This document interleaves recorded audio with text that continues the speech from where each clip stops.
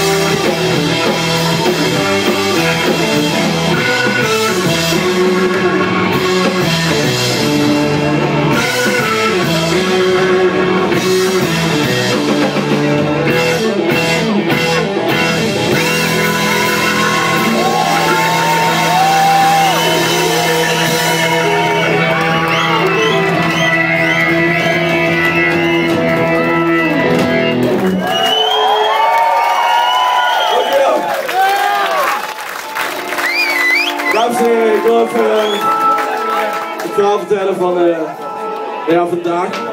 Het kost nogal wat moeite om hier naartoe te komen. Ja, toch wel. Ik, uh, ik kwam met de trein. En voor het eerst in misschien vijf jaar aan het NS geen vertraging. Dus ik was hier op tijd.